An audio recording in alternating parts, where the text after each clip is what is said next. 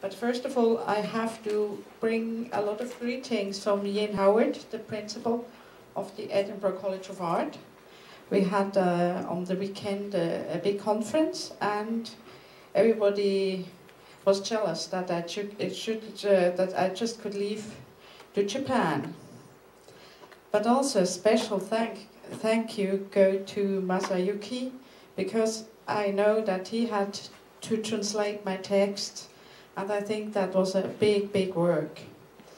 So uh, thank you. It's really incredible what he has done. Today, I will speak as an artist to you, and not as a as an academic person or as the director of the research institute in Edinburgh ICE. And it's very interesting that I just can go on with similar with similar images as we saw from Norman Norman's lecture before. I will talk today about the water edge, a place to research relationships between nature and culture. Some kind of a poem with the method of sampling. God is a DJ. And my whole text, this poem, is about a space I really like. I like also to live in and work in as an artist is the between. Songs of the thought pervade the world. Birds fly and chant the ocean. Trees are dreaming calmly in green. Tents are standing in the wind, protectively. Animals are wandering long distance. Steadily a tower is growing stone by stone. Wheels are starting to turn. Clouds change the horizon. Warriors conquer their empire. The dragon still is in deep sleep.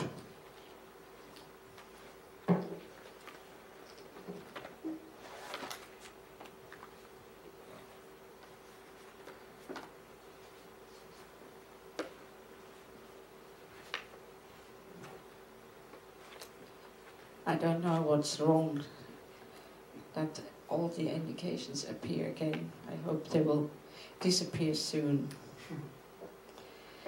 The landscape of a particular culture and society is framed in a biophysical infrastructure.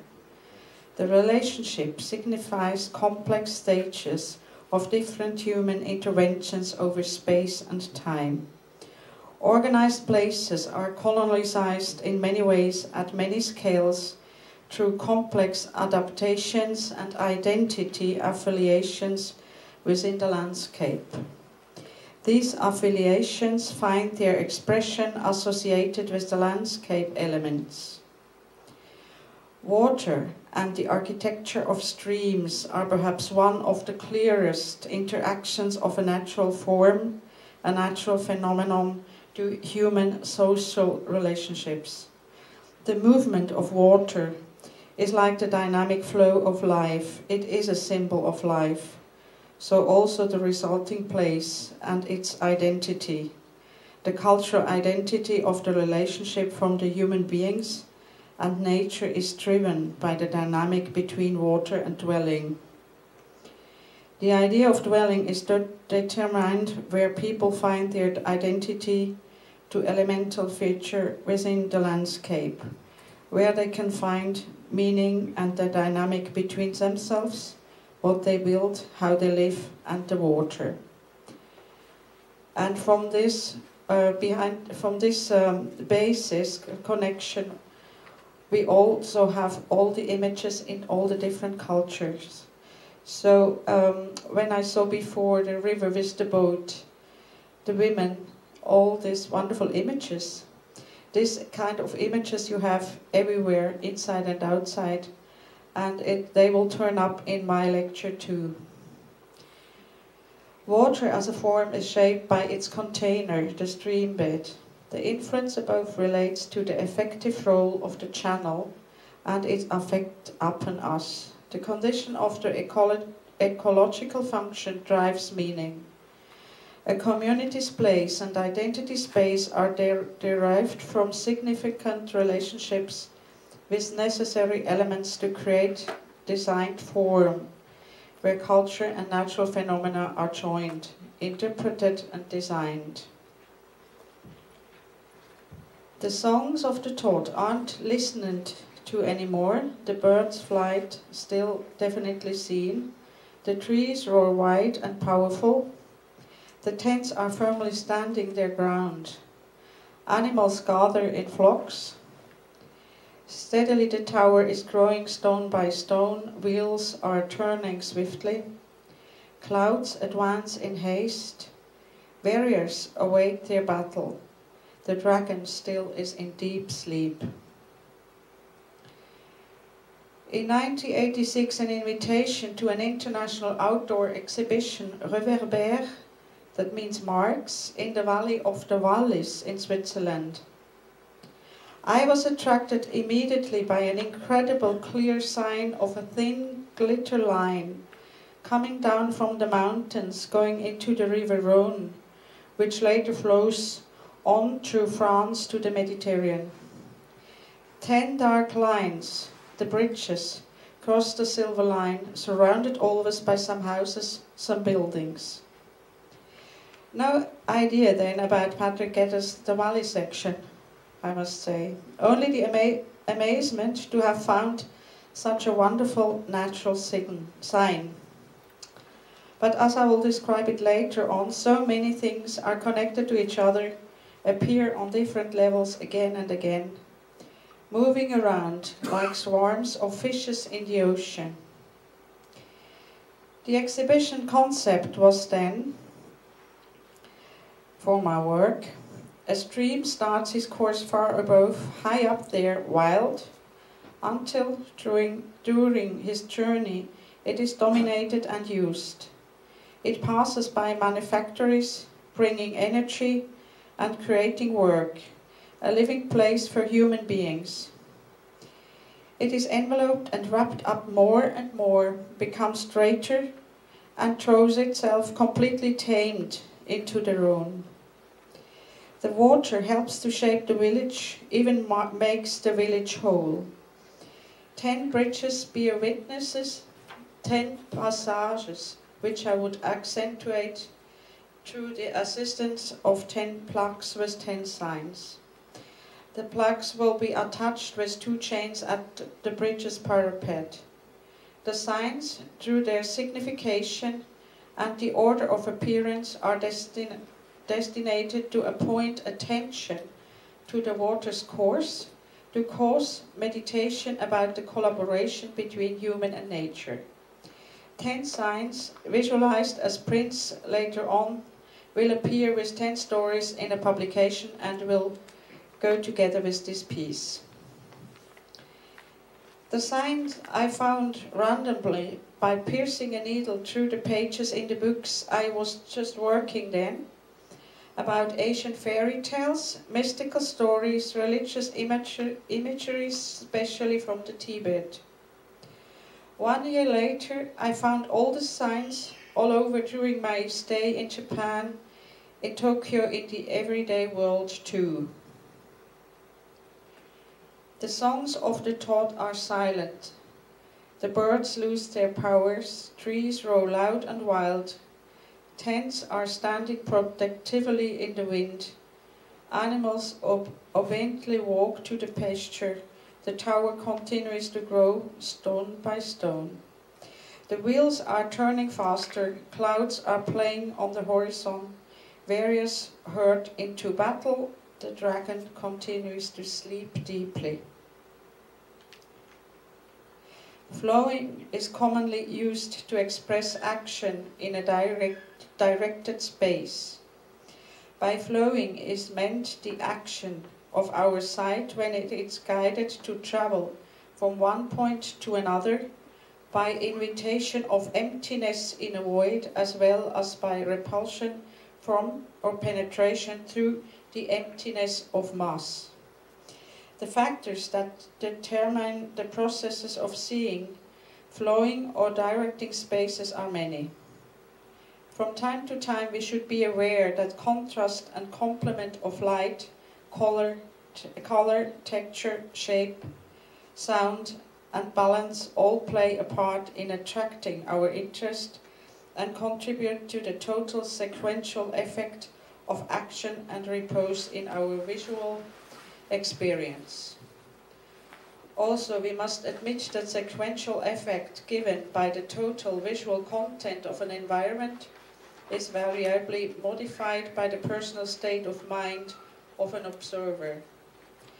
Everything else being equal, however, flowing in that directed space is mainly created by the contrast of openness between two consecutive environments in the conceptual continuity of the memory, and it's complementarily guided by solids parallel to the direction of flowing. An open space has more room of bodily and optical interaction and motion and will absorb more attention. A narrow environment will give an impression of congestion and accelerate forward action.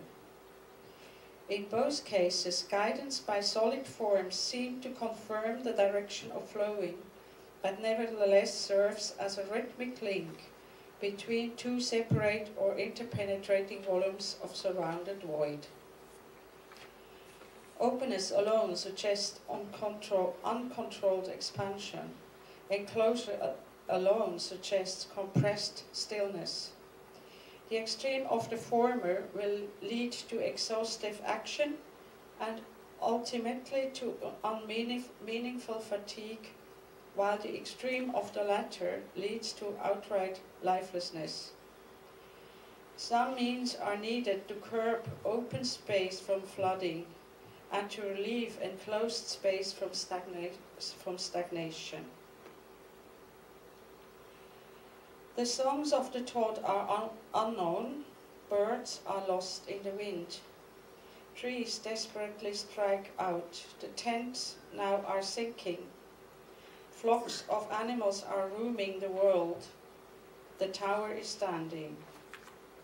The wheels turn more and more quickly every day. The clouds are grey and blue. The warriors went further than they intended. The dragon sleeps calm and deep. Liveliness always needs the potential of becoming. It seems that one way to curb flowing is by holding the environment together by a tangible mass such as a line of trees which is in perpendicular relation to the direction of flow. The result achieved by the arrangement is an effect between flowing and non-flowing. Sight will then follow the perimeter of the environment, then temporarily being held from crossing the boundaries of the environment at, and it will swing back to cross it once the initial curve is overcome. The attention is held in suspension and prevented from evaporating in endless actions. An opposite situation of equilibrium in the flowing space of seeing is a case in which an environment is visually confined in almost every direction. The intangible content needed in such a case is the feeling of some opening to relieve the compression. A series of lateral plans, either a row of buttresses or Venetian blind, is one means, which could imply the lateral openness beyond them to lessen the longitudinal action squeezed by lateral confinement. The sight following this action and reaction will thus be successfully attracted by the brightness of the lateral plans and will be tempted to go laterally but always swings back and proceeds to the next intangible openness implied by brightness. A rather confined environment hence becomes a visual volume of melting softness. All this can be seen as a broad description of not only the relation between nature and dwelling, architecture and space, but also it functions at the level of conceptual continuity of the culture conceptualization sequential effect usually is subjective. It is always renewed and unfinished. Since music is psychologically existing but is physically or visually a non-being, it is a wonderful metaphor for flowing architectonic continuity. Painting and sculpture, however, are physically and visually existing, but psychologically are often non-beings. So how can visual art start to flow? Do it be a part in the stream of life? A question that has become to be more and more important and interesting for me over the last 15 years. The songs of the tod are completely forgotten. The birds leave the land, trees are sick, tents cave in soundless sleep. Flocks of animals overrun the land. The tower is a shadow against light. Wheels thunder through day and light. Clouds are hanging heavily from the sky. Various bewail the war. The dragon still sleeps deeply. Art should explain the world, perhaps a too big duty. On the other hand, with art, the artwork still existing from cultures long disappeared, we have something to look at which is not moving away, which seems to be static, and so we can move around with our thoughts and sometimes also physically. But today, to make a cha change in the way we look at or how we watch things, into seeing things as they are and as they relate to all other things in the world, is always has been difficult. Also, if you think if you have to see what means nature, you will have problems. But the globalized world has brought also into the discussion new instruments, new understandings, and it has brought in also a better understanding not only of distinctions, but also of the need to cross the borders in science, in art, in politics, etc to change the understanding of the individual, not only in my home culture, the culture of the Western European world. On old world maps, map makers wrote, there be dragons, in this way describing the unknown as often frightening. But when then explorers penetrated every area of the world, the monster-marked patches disappeared but there are still a lot of dragon-infested areas in our mental map of how the different parts of the world work together. How all the immense range of cultural expressions, for example, fit together. From the universe under a microscope, the universe locked into a cell to the new world of the internet. And we as actors and viewers in between but also part of it with borders no longer clearly defined to show and to know where the networks end and where we are. What, for example, I have to do with the wonderful blonde women in the painting we just saw. It was much easier in past times to know where we were and where were the dragons. But now, the good news is that recently scientists have been learning to map our interconnectivity in many different fields. Their maps are shedding new light on our web-like universe. Many surprises and challenges are found simultaneous, challenged and insights we wouldn't have dreamed of 10 years ago. Maps of companies connected by trade or ownership have traced the trail of power and money in Silicon Valley.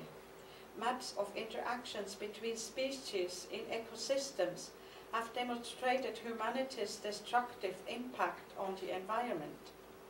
Maps of genes working together in a cell have provided insight into how cancer works so we will try to draw new and different maps of cultural manifestations also and art expressions because the real surprise of the recent years has come from placing maps side by side. Just as diverse humans have skeletons you can't distinguish, All these newly discovered maps follow a common blueprint. A string of recent breathtaking discoveries has forced us to acknowledge that amazingly simple natural laws govern the structure and evolution of all the complex networks that surrounds us or also in the culture and social context create us. The songs of the taught aren't to be found anymore. Birds suffocate in the mud. Trees scream silently with green leaves. Tents are no more in use. Flocks of animals run into death. The tower stands alone. Wheels keep on turning wildly. The clouds continue their route over the ocean. Various call to battle. The dragon is awake. These new views that scientists and artists are now working with are naturally not at all new. But today we have to deal with the immense complexities of levels and layers of a globalized world, together with the microcosmos of the private destiny.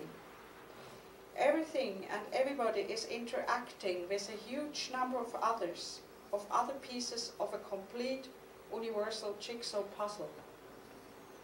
This sounds very easy, but it's very difficult to understand. And as I just had a question some months ago in Edinburgh, a young woman asked me, but you are talking about the globalization and how it affects the art world. But what's about Edinburgh? So still for many of us, all these new insights are outside of us and we are not part of it. But I think that's something, it's not easy to understand, but if you get it, it's wonderful to live in. Networks, not only intellectual and mental networks, are present everywhere. All we need is an eye for them, because also the older static explanations for the world are no longer adequate. So all these insights from different science involved in global processes, in natural science, economics, politics, we can now try to use for our field of artistic thinking also. We can leave behind the logic of things going from A to B as the only tool to work with. We can start to move around in a net knowing that for every second of our life we are part of it on a micro and macro basis. Because being part of a moving and living net of energy flows, we do not have to fear getting lost. These ideas to connect different levels of culture and of society, to get a more precise idea about new insights, to have a better platform, to get more knowledge, appear and disappear. So for example, their ideas are present in the thinking of a great German curator and academic Alexander Dorner, who was driven out by the Nazis uh, before the Second War to find exile in the United States. Not because he was Jewish, but because he had this new understanding of the interactivity between exhibited objects and the space in which they are shown, and naturally the interactions between public, artist and curator. His understanding of the flowing, moving world of mental and spiritual energy being also inside of objects is absolutely contemporary. So perhaps real glimpses of understanding are always contemporary, as long as they are on the move and not static, not describing something but creating it again and again. And I think this three days with Patrick at his work is an, a very wonderful example of this.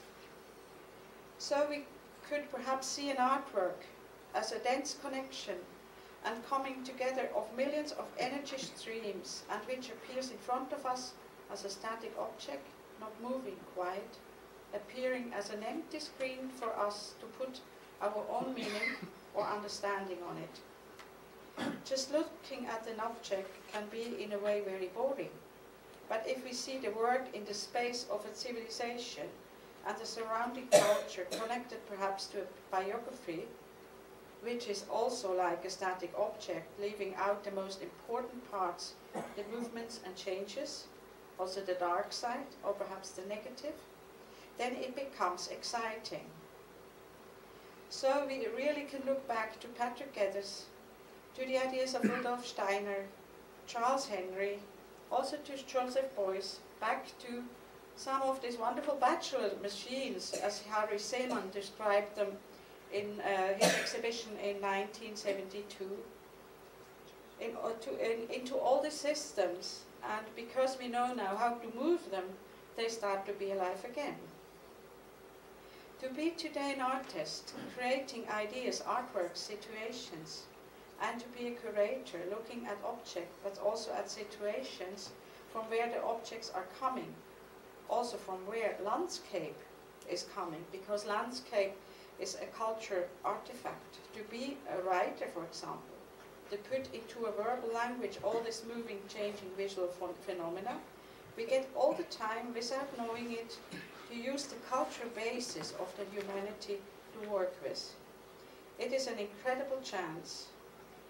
This is the new place of the between, not the void, and a frightening place where the dragons come to attack you, but is a place where you can find your way through moving, choosing things, losing things and ideas, changing places.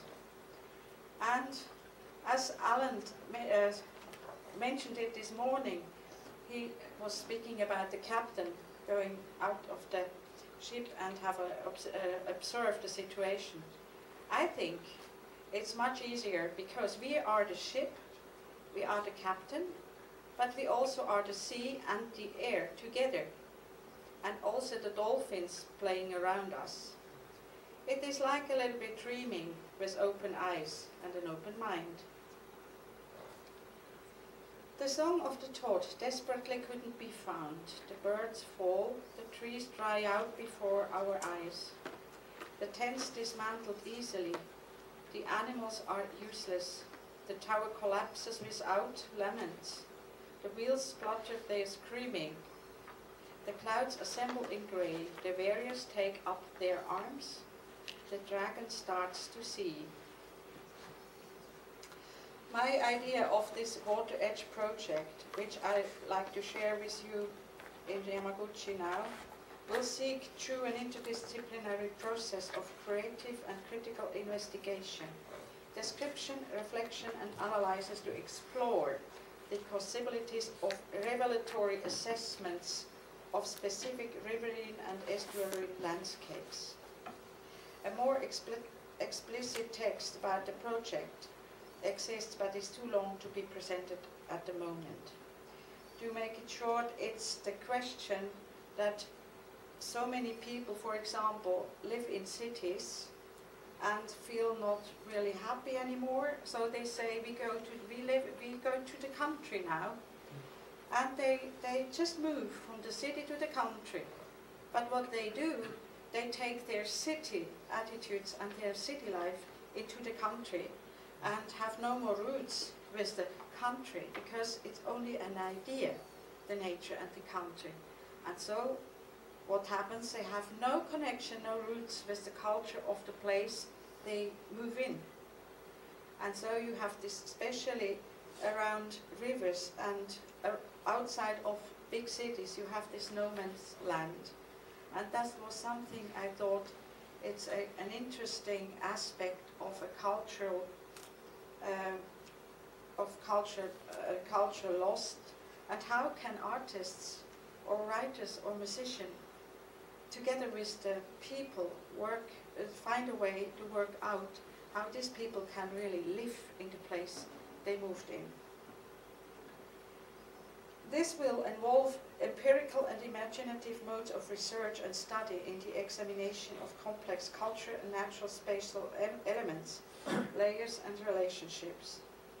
The Water Edge project proposes a revelatory landscape assessment as the platform for investigations about possible ways of mediations between artists, musicians, curators and landscape architects in an interdisciplinary process.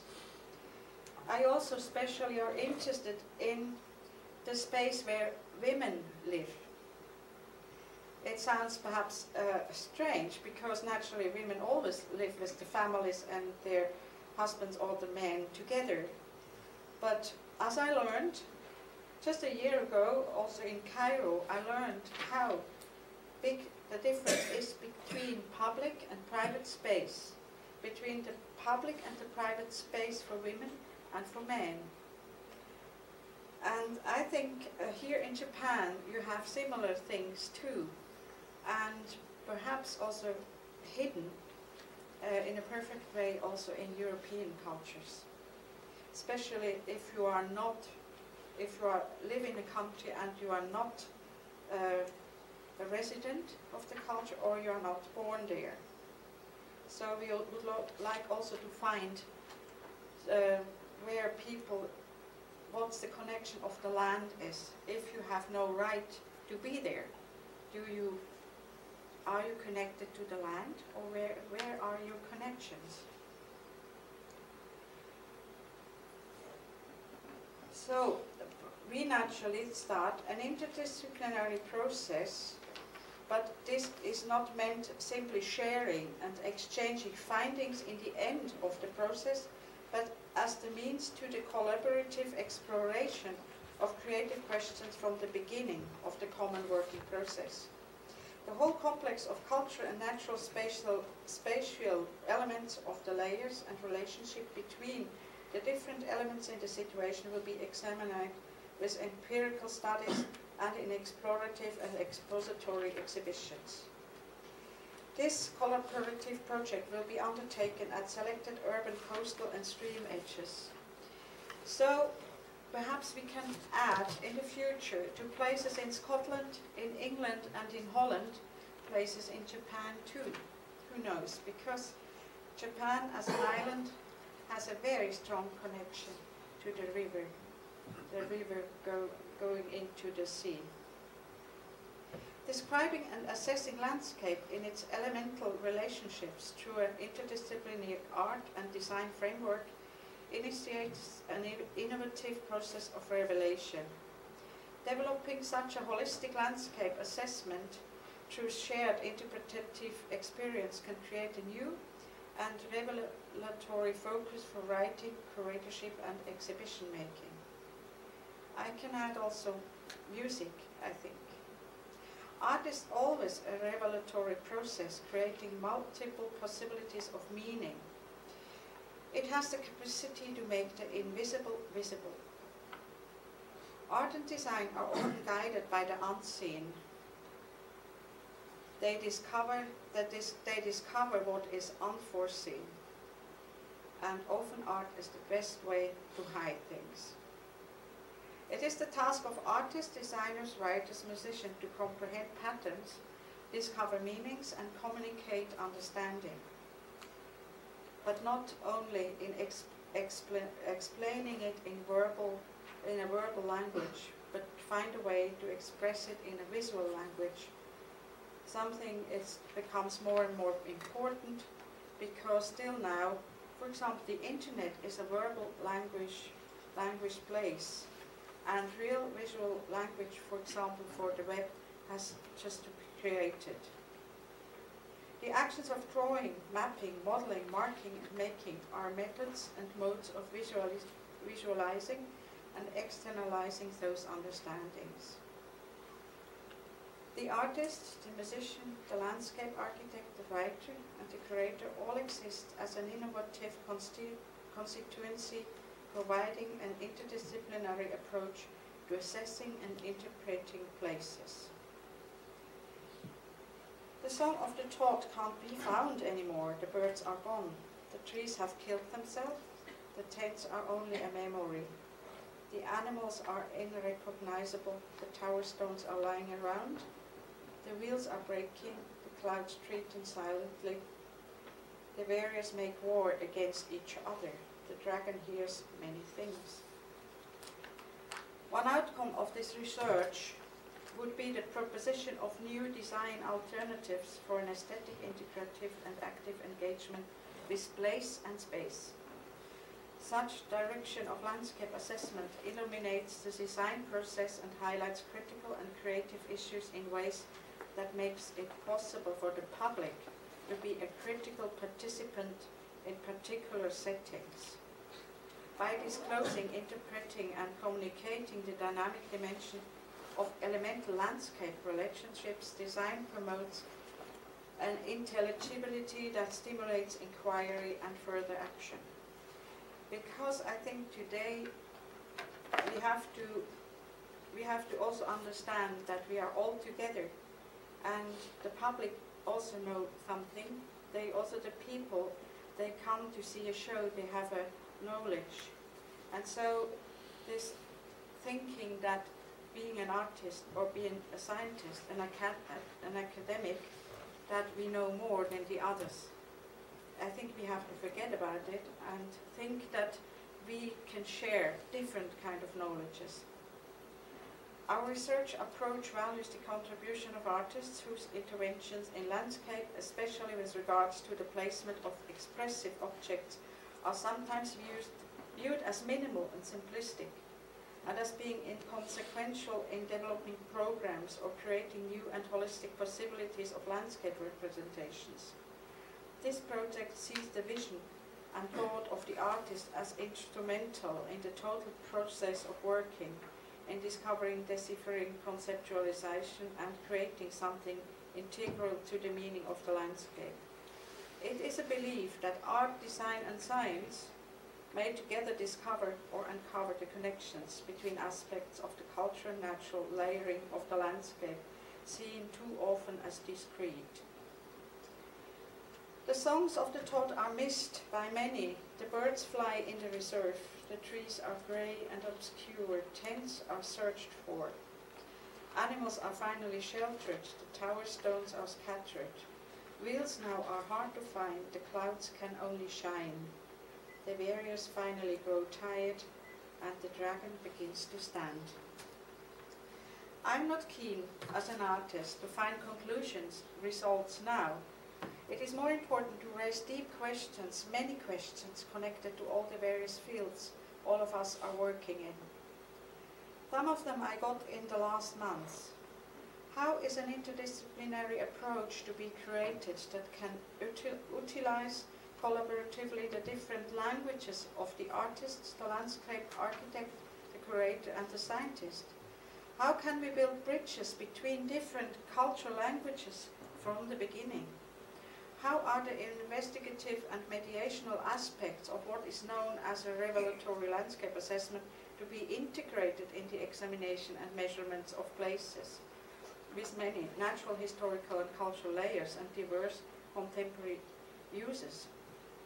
What critical filters and techniques of analytic cross-sectioning do we need to develop in response to specific sites with different biophysical and cultural bases? How are the new perspectives and new modes of expression for artists, musicians, landscape architects created, created within the collaborative logic that informs the revelatory assessment and the current cross-disciplinary perception of landscape? what kind of information will be needed to create new ways of describing, analyzing and interpreting landscape and in the mediations of curating and writing. Many other questions arise. A wonderful thought to move on with more and more questions, to forget about eternal answers. The answer always as a start for the new question. So the water edge as a meeting point, or to say it in a more perhaps poetic way, walking, walking the shingle beach at the edge of the world, where the endless sea washes the pebbled bank, a night full of dreams, walking the shingle beach, the space between layers of the real, the edge of the world, a never-ending music, where parallel waters meet, river and sea in constant turmoil, elemental lovers, the music of the water. Different coming in and going out, like breathing, river and sea, man and woman, meeting at places of eternal changes, light as glittering jewelry all over, carried from the endless rocking of the shingle, the ceaseless music of the sea.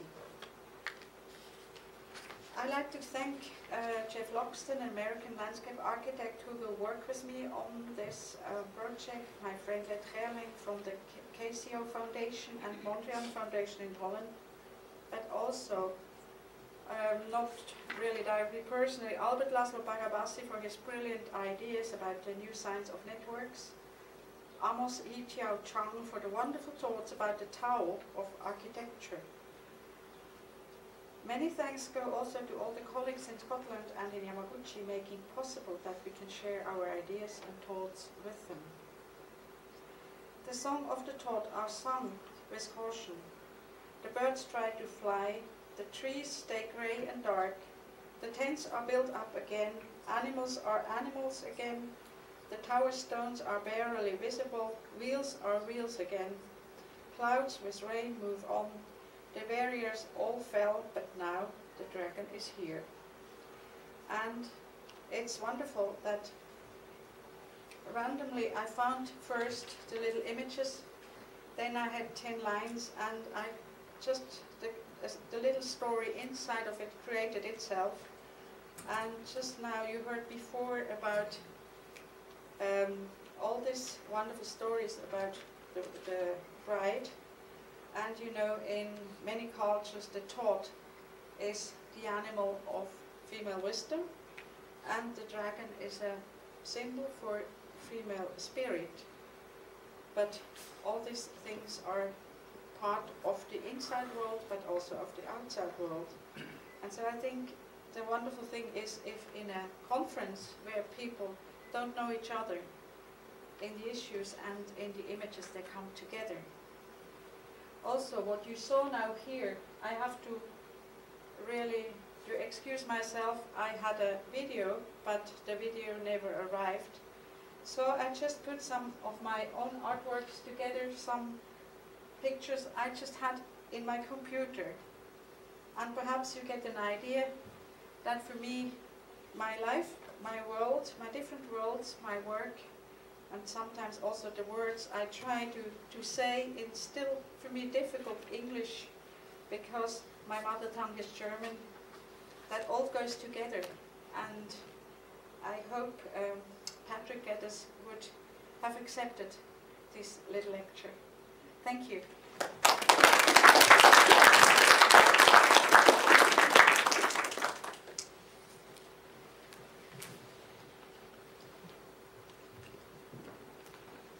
ありがとうございました。とこのまま質疑応答に入りたいと思いますが、えー、と we're going to our discussion Q&A.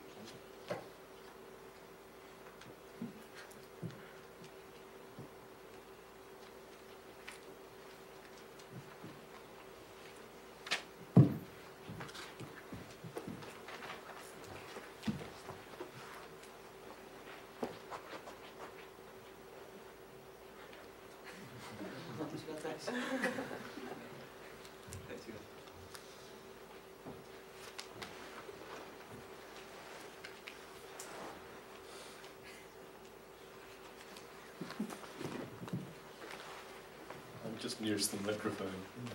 Uh, I, I, I, was fascinated by what, what you said, Marianne. Uh, and uh, in a way, I suppose this is as much an observation as anything else, but um, I, I, I, felt uh, your this notion of the water's edge and your poetical references to it resonated uh, to an extraordinary degree with Rabindranath Tagore. And there's uh, one poem by him that begins, on the seashore of endless worlds children meet, which perhaps brings uh, a, a, whole lot of different things together. Um, and uh, just the way you, you wove the different elements together, I found uh, uh not only interesting, but also moving. And I think uh, your ending, where you said, uh, perhaps Geddes would have approved, or I forget your exact words. Uh, well, I think he would have. So thank you very much.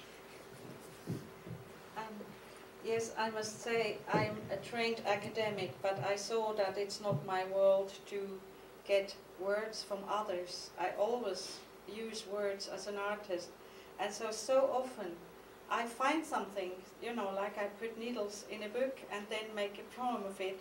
And then later on I see that I can find it in other places. And I must say, I, always, I was not always never shocked about that. I was happy because I thought, I live in the same world. We all live together.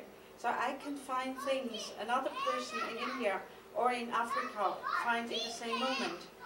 And um, I couldn't understand why, for example, my students always tell me, oh, that looks like Imi Knoebel. Oh, now I did a Sigmar Polke.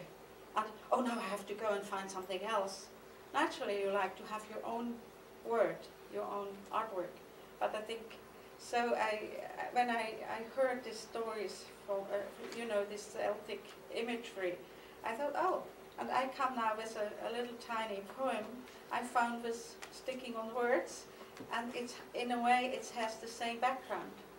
And I think that's today wonderful that we can see what's under, also under Patrick Geddes' structures, you know, under Rudolf Steiner's structures.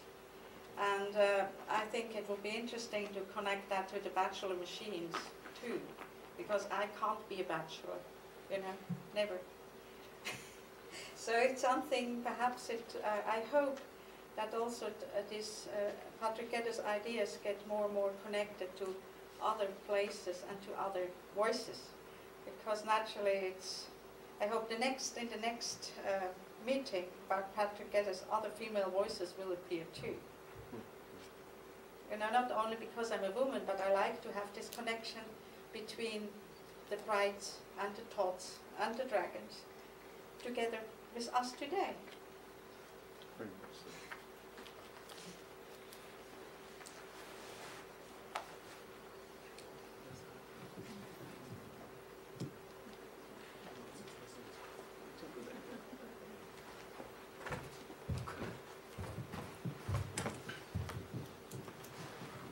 と通訳ではないんですが簡単に、えー思い出す分だけ説明したいと思います。えーっとバード・マクドナルド先生は、えーっとえーマリアンヌさんの、えー発表についてあのその、えーえーゴダールの、えー詩の作品が思い出されてそれに共鳴するものがあったということを指摘されていて、えーその非常にこうポエティックな、言葉の使い方、などが、非常にこう素晴らしいもので,、で彼女があの最後に、コメントしたように、ゲデスの、思想の、アンブレラの中に入るようなものであるというようなことを指摘されて、いたと思います。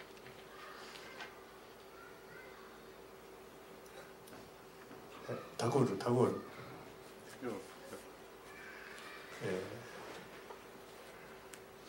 奥先生なんか付け加えることありますか？他に、えーどなたか付け付け加えることがあったらちょっと付け加えてほしいんですがじゃあ藤川先生お願いします。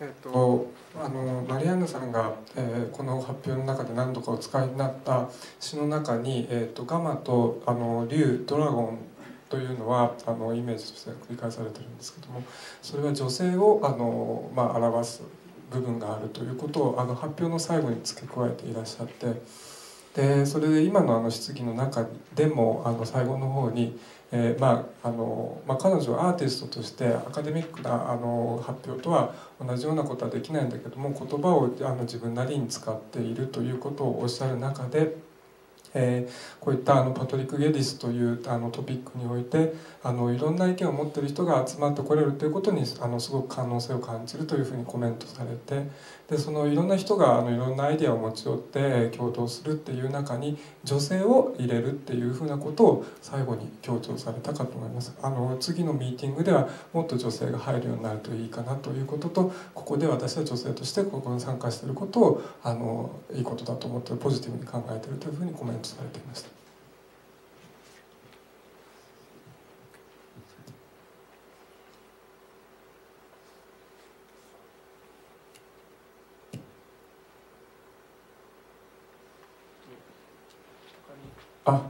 の後ろの方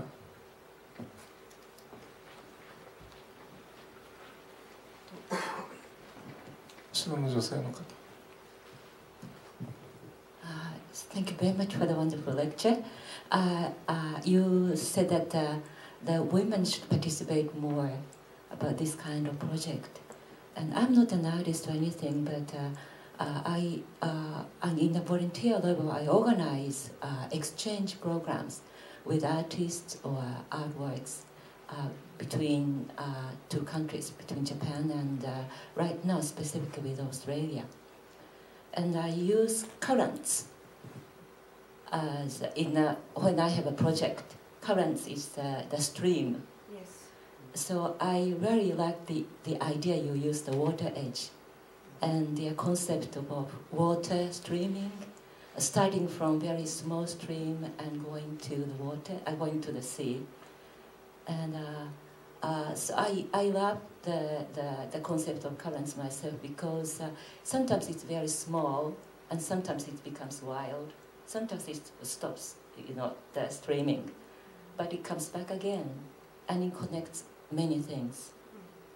So it, it is not a, a question or anything, I just wanted to say the comment. Thank you very much indeed. あのえー、とあの私自身はアーティストでも何でもないんですけれどもあの自分であのアーティストとかそれからアート作品を、えー交流するプロジェクトをあの時々やるんですけどその時にあのその企画に「カレンツ」流れるという字を書くんですけれども名前を付けています。でそのそのあの名前がとても自分では気に入ってるんですけれどもそれがあの、えー今おっしゃってたあのとウォーターエイジとかそういうことにつながるなと思ったもんですからちょっとコメントをしました。以上です。